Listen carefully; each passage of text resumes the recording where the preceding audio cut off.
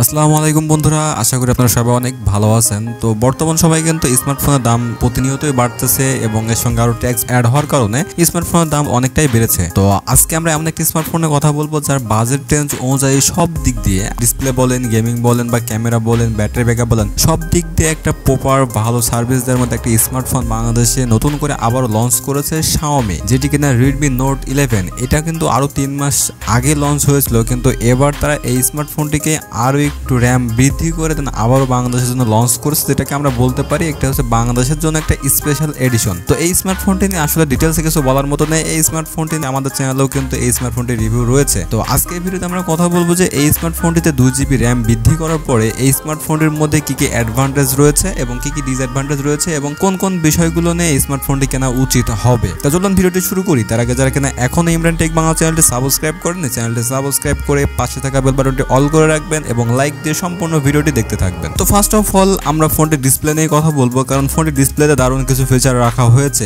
আগেও ছিল এখনও আছে, তবে এটা খুবই ভালো একটা বিষয়। এই স্মার্টফোনটিতে কিন্তু six point four three inch full HD plus AMOLED touch screen পেয়ে যাচ্ছেন, যেখানে খুবই সুন্দর কালার কম্বিনেশন কিন্তু আমাদেরকে প্রোভাইড করছে এই স্মার্টফোনটি এছাড়া এই স্মার্টফোনটির মধ্যে কিন্তু আপনারা নাইনটি হার্জের ফাস্ট রিফ্রেশ রেট পেয়ে যাচ্ছেন, যেখানে মাল্টিটাস্কিং এর ক্ষেত্রে খুব ভালো পারফরমেন্স এই স্মার্টফোনটি করতে পারবে। আর তাছাড়া যেহেতু এখানে দেখেন six point four three inch এটা কিন্তু খুবই কম্প্যাক্ট একটা সাইজ যেটি আপনারা হ্যান্ড ফিলিং অনেক ভালো পাবেন এবং এই স্মার্টফোনটির যদি আপনারা মুভি ওয়াচ করে থাকেন বা কোনো ভিডিও দেখে থাকেন, সেক্ষেত্রে খুবই ভালো একটা ফিল পাবেন। কালার কম্বিনেশন ডিটেলস খুব ভালোভাবে দিতে পারবে। দেন এই স্মার্টফোনটিতে কিন্তু চারশো নয় পিপিআই ডেন্সিটি ব্যবহার করা হয়েছে এবং এটি ফুল এইচডি প্লাসের একটি ডিসপ্লে এই ডিসপ্লেকে প্রোডাকশন করার জন্য এখানে কর্নিং গরিলা গ্লাস থ্রি এর প্রোডাকশন ব্যবহার করা হয়েছে। তো ওভারঅল এক কথায় বলতে হয় ডিসপ্লেটা খুবই বেটার ডিসপ্লে আমাদেরকে প্রোভাইড করেছে শাওমি দেন আমরা চলে আসব এই ফোনটির পারফরমেন্স সেকশনে পারফরমেন্স সেকশনে আসলে বেশ কিছু ইমপ্রুভমেন্ট দেখা গিয়েছে। এছাড়া এই স্মার্টফোনটি কিন্তু যখন আগের বার লঞ্চ হয়েছিল, তখন কিন্তু এই স্মার্টফোনটির মধ্যে অনেকগুলো সমস্যা আমরা দেখতে পেয়েছিলাম। কিছু কিছু ছোট ছোট, কিছু সমস্যা ছিল। কিন্তু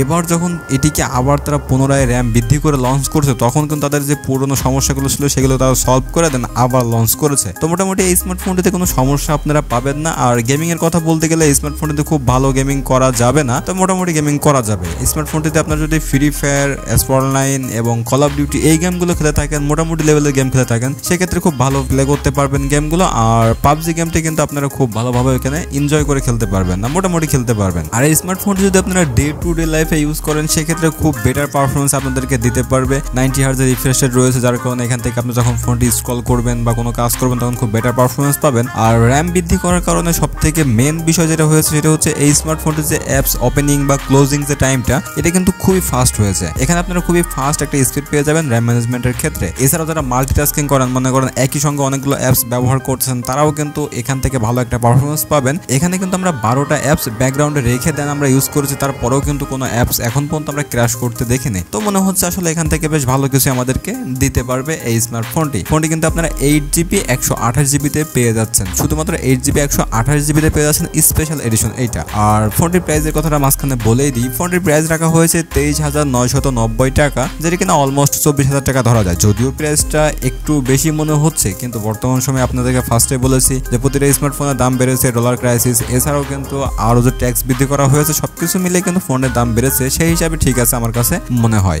দেন ফোনটা যদি ক্যামেরা পারফরমেন্সের কথা বলি ক্যামেরা পারফরমেন্স কিন্তু ঠিক আগের মতো রয়েছে, এখানে ফিফটি মেগাপিক্সেলের মেন ক্যামেরা সেন্সর এইট মেগাপিক্সেলের আল্ট্রা ওয়াইড সেন্সর টু মেগাপিক্সেলের ম্যাক্রো এবং টু মেগাপিক্সেলের ডেপ সেন্সর চারটা সেন্সর রয়েছে। তবে স্মার্টফোনটি আমার কাছে মনে হয় যেহেতু তারা এত কিছু পরিবর্তন করতে পারল, কিন্তু এখানে তারা কেন ভিডিও রেকর্ডিং এর ক্ষেত্রে কিন্তু একটু ডিসঅ্যাডভান্টেজটা রেখে দিয়েছে, কারণ এখানে টেন এইট টিপি দিয়ে ভিডিও করার সিস্টেম রেখেছে তারপরেও ভিডিওতে কিন্তু খুব ভালো পারফরমেন্স পাওয়া যায়নি। আর ফটোশুটের কথা বলতে গেলে মেন ক্যামেরা সেন্সর দিয়ে আপনারা খুবই ভালো ফটোগুলো শ্যুট করতে পারবেন। আর মেন ক্যামেরা দিয়ে ফটোগুলো শ্যুট করার সময় এখানে কিন্তু কালারটা একটু বুস্ট আপ করে দেয়। এছাড়া বাকি যে সেন্সরগুলো আছে সেন্সরগুলোর পারফরমেন্স মোটামুটি ভালো ছিল। তবে এই স্মার্টফোনটিতে ক্যামেরাতে কিন্তু আপনারা হাই কোয়ালিটির পারফরমেন্স পাবেন না। মোটামুটি লেভেলে বলা যায় যে বিশ থেকে বাইশ হাজার টাকা, পঁচিশ হাজার টাকার মধ্যে যে স্মার্টফোনগুলো আছে, তাদের সঙ্গে কম্পেয়ার করলে মোটামুটি ভালো একটা স্মার্টফোন হতে পারে। দেন এরপর যদি আমরা স্মার্টফোনটির ব্যাটারি সেকশন নিয়ে কথা বলি, এই স্মার্টফোনটি যে চিপসেট ব্যবহার করা হয়েছে, এই চিপসেটটা কিন্তু আসলে অনেক কম পাওয়ার এফিসিয়েন্ট যখন আপনারা গেমিং করে থাকবেন, তখনও কিন্তু এখান থেকে খুব কম চার্জ কনজিউম করে, যার কারণে আপনাদেরকে বেশ ভালো একটা ব্যাটারি ব্যাকআপ দিবে।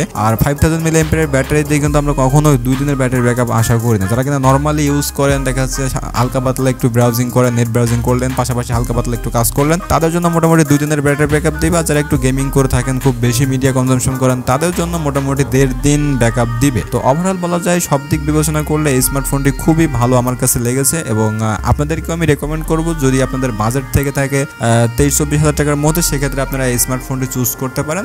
ওভারঅল একটা কমপ্লিট প্যাকেজ পাচ্ছেন, যেখান থেকে ক্যামেরাতেও ভালো একটা সার্ভিস পাচ্ছেন গেমিংয়েও ভালো সার্ভিস পাচ্ছেন। এছাড়াও কিন্তু আপনাদের ডিসপ্লেটা খুব ভালো দিচ্ছে তো ওভারঅল মনে হয় সব থেকে বেটার একটা স্মার্টফোন হতে হচ্ছে এই স্মার্টফোনটি তো বন্ধুরা, আজকের ভিডিও এ পর্যন্ত ভিডিওটি আপনাদের কাছে কেমন লেগেছে অবশ্যই কমেন্ট করে জানাবেন। আর যারা কেন এখনও ভিডিওতে লাইক করেননি রিকোয়েস্ট থাকবে ভিডিওতে লাইক করে দিবেন। তো ভালো থাকুন সুস্থ থাকুন দেখা হবে নেক্সট কোনো ভিডিওতে